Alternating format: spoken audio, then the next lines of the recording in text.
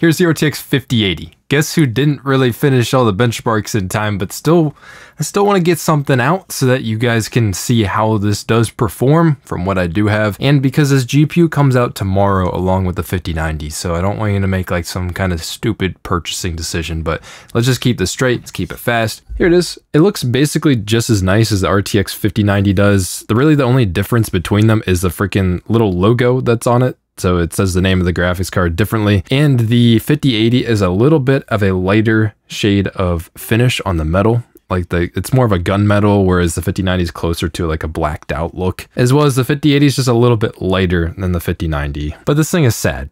I'm not gonna lie it's it's sad. Like we were already set up to be kind of disappointed about this guy, but let's just look at some benchmarks that I have right now. As you can see, I'm in DaVinci Resolve. This is my editing program. It's rendering. These renders take forever, like hours to render out. I only got time to test a few games. But basically, you can see the performance right there. It is loud and clear. It's only like 4% faster in Last of Us Part 1. This is basically a 4080 Ti.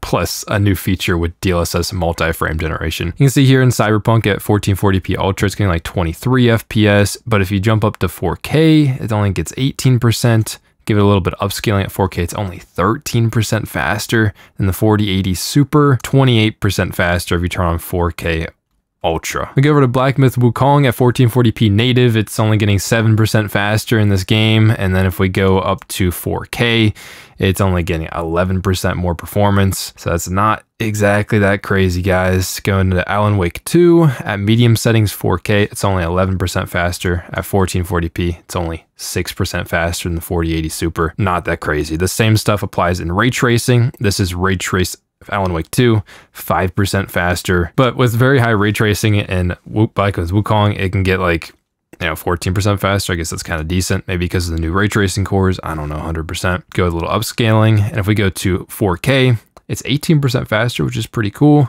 But uh, yeah, it's not all that exciting. You expect maybe we get a huge uplift in ray tracing if we're not getting a huge uplift in rasterization, but that's not really what we're seeing here. Ray trace reflections only getting 6% faster in Cyberpunk, and um, it's actually slower here.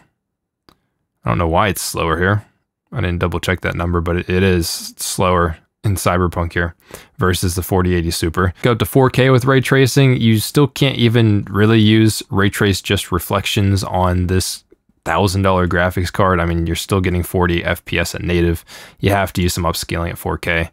And uh, you can see actually the 4080 Super pulls ahead here. I might want to rerun this test, but that is really not good for the 5080. We turn on RT Overdrive, it's 18% faster, but even at 1440p native, you're only getting 33 FPS. If you turn on some upscaling, it's only 4% faster. Turn on performance upscaling at 1440p, it's only 5% faster. It, like the performance just, it's not that crazy. And to be honest, that doesn't really surprise us because we, we knew the specs beforehand. Okay, this the reason I've been comparing it against the 4080 Super is because these are the price competitors. I've actually been told by Nvidia themselves they want me to compare it to the 4080 Super, but they advertise against the 4080 for some reason. It's really annoying. It's only 6% more CUDA cores and it's only 6% more ray tracing cores as well. And if you go down to the memory bandwidth, this is the thing that you'd think would be probably significant and leading to more performance. Yes, we're getting 30% more memory bandwidth on the graphics card. So down here, that's the memory bandwidth, and that's because it's going to GDDR7. And I think that's why in some of these tests that it ends up, you know, performing a little bit better at 4K because as you go up in resolution, like say here in Cyberpunk, we go to 4K, it's 18% faster. And that's because up in resolution means more memory bandwidth because it uses more data.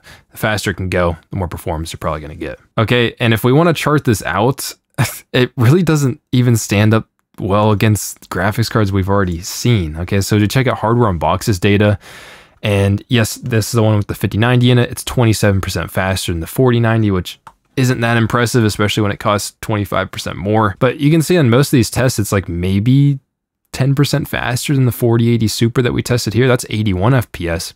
Add 8 FPS to it, it's at like 90. And it's maybe beating the 7900 XTX from AMD. It's it's still pretty far behind the 4090. I'm yet to test the 4090 yet, but it's not going to beat a 4090. If you're one of like a 5080 is going to be a better value than a 4090, you should just pick up that.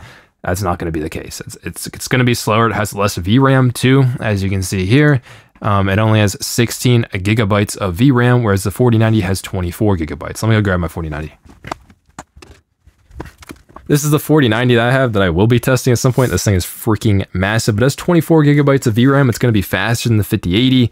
It won't get the new multi-frame generation, but that's pretty much about it. And these 4090s have been selling like really, really well on the used market.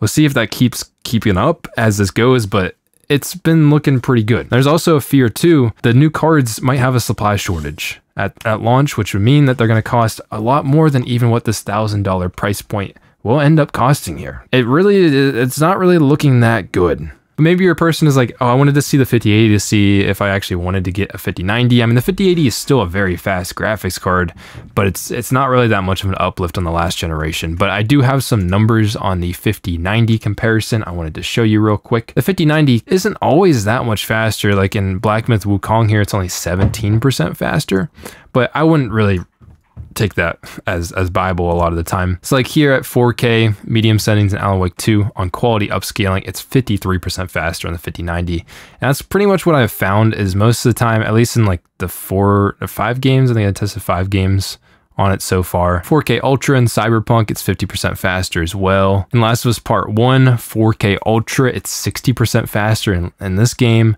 Um, and we can check out Marvel Rivals as well. 4K high settings, that's 43% faster.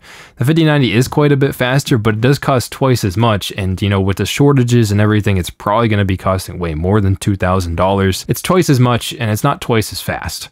It has twice as much VRAM and it's basically twice the GPU in general, even in terms of power consumption. A lot of times it is like double it.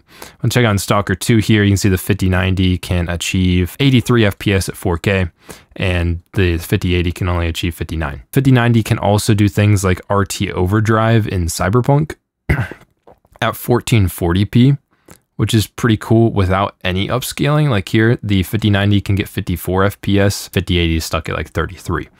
So that's the type of performance differences that you can see here. I just wanted to get this out so you guys are aware of it and uh, I, I, wouldn't really be looking at the new cards. I don't think you're missing out on that much. We I already made a video on multi-frame generation and so did Hardware Unboxed. Like they really broke it down and it's not always that good. You need a lot of things in place like a high refresh rate monitor to take advantage of it.